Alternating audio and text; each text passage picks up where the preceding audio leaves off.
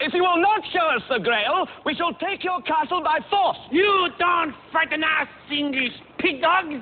Go and boil your bottom, sons of a silly person. Ah, blow my nose at you, so-called Arthur King. You and all your silly English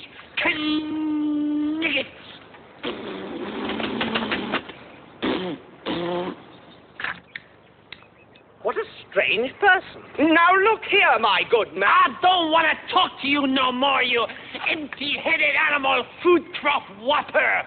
I fart in your general direction. Your mother was a hamster, and your father smelt of elderberries.